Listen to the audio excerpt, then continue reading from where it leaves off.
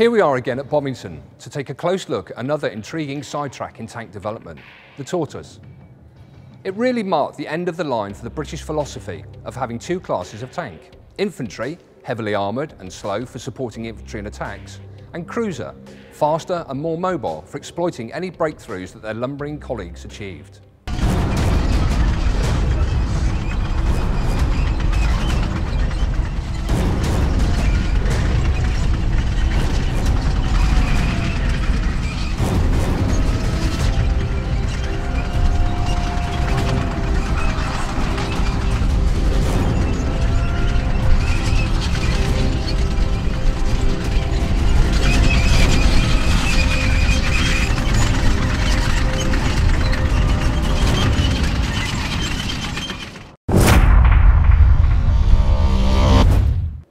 In early 1943, with minds moving towards the eventual invasion and liberation of continental Europe, people started thinking about the battle conditions they would face.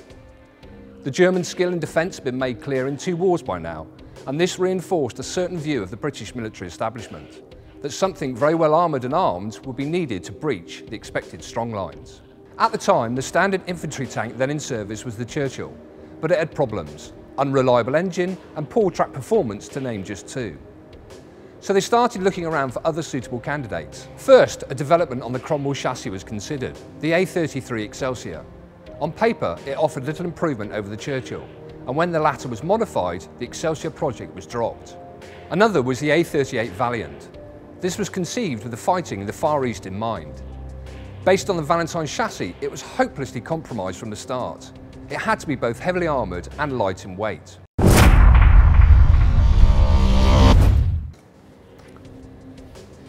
For once, and hopefully having learned their lesson, they started with a clean sheet of paper, and a specification was issued in April 1943 for what was described as a super heavy assault tank. Between then and February 1944, 18 separate designs were produced, each larger and heavier than the one before. In February, the tank board confirmed the design and ordered 25 straight away as the A39, without any prototype testing. But the end of the war came before the tortoise was ready, and the order was cut, with just six examples being produced. One went to Germany in 1948 for testing, when the impracticality of its sheer bulk became all too clear. Transporting it was a real nightmare.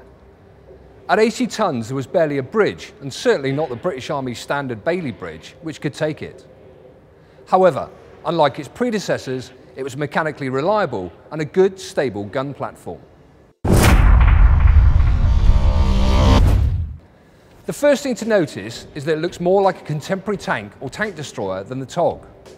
It rather resembles a Stug on steroids or a distant cousin of the Russian Su-122. It has double torsion bar suspension like the Tiger II and underneath it all is a 650 HP Rolls-Royce Meteor engine, a detuned version of the famous Merlin engine fitted to planes like the Spitfire.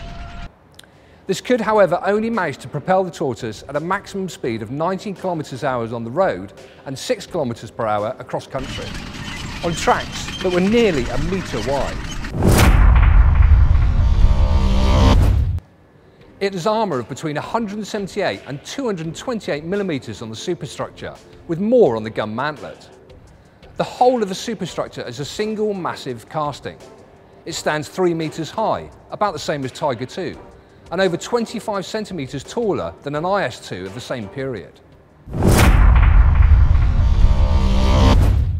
This was the 32 pounder, developed originally from the 3.7 inch anti-aircraft gun. It fired a 14.5 kilo armour piercing shell at a muzzle velocity of 880 metres per second. In tests, it proved it can knock out all of the late war German tanks. It certainly would also have handled the IS series of Russian tanks. Secondary armament consisted of three 7.92mm Besa machine guns, one in the front and two in a sort of small turret on the top.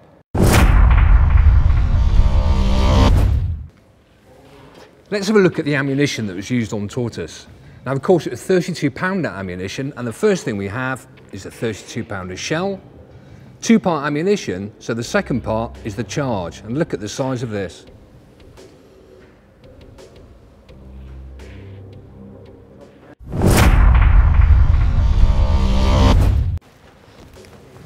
We've now moved up into the fighting compartment of the Tortoise. Now the first thing that's blatantly apparent is the sheer size of it is absolutely unbelievable. But of course it did have a crew of seven, so it needs plenty of room.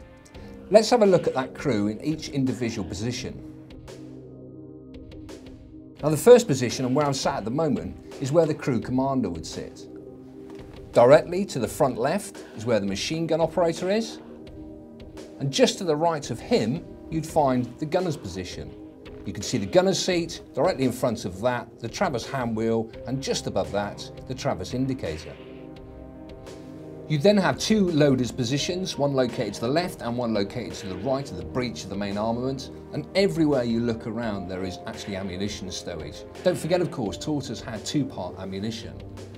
We then move across to the second of our machine gun operators positions, and the final crew position for Tortoise, located to the front right, was the driver's position.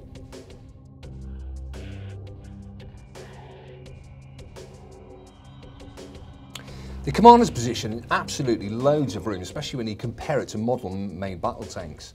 Some of the key things he's got in here, you can see then he's got a Traverse hand wheel, so it enabled the commander's propeller to rotate, and he's actually got a fairly good array of periscopes all the way around, so he didn't have a bad view whatsoever when he was fully closed down.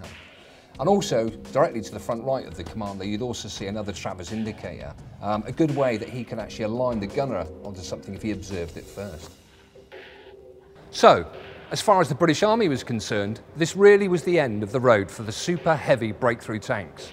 Even if, as if in this case, they could be made reliable and given a good gun. Their sheer size and weight had to call into question their value on the battlefield. Simply getting them there would have been a huge headache. And by this time, what we know now as the main battle tank had started to emerge in the form of the British Centurion, with the very good 20 pounder gun and the 105mm, which was not far behind. No longer did tanks have to be artificially restricted down to the pace of the walking soldier, since infantrymen were now being carried in APCs. The tortoise remained a testimony to the persistence of an outdated belief and the tenacity of the individuals who held it.